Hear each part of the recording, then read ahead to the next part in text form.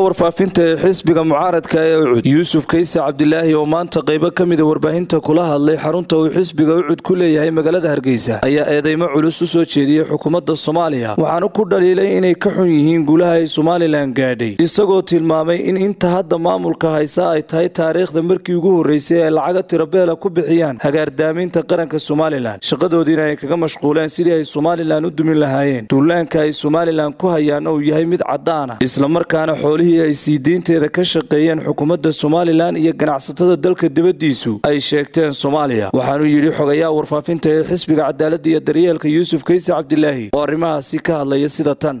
Soomaaliya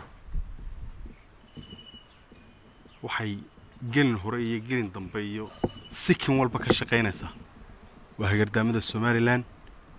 Welibana soomaaliya oo dhan maayo waa inta maamulka u haysa. Shacbigu waa dad wanaagsan laakiin inta maamulka haysa taariikhda waa markii koowaad oo maamul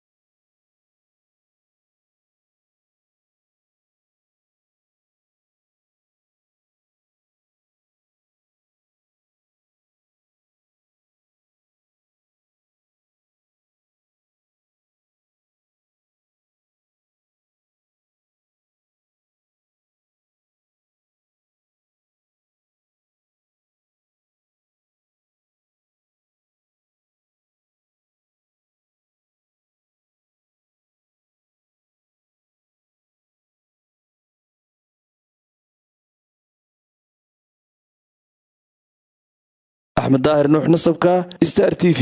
Hargeysa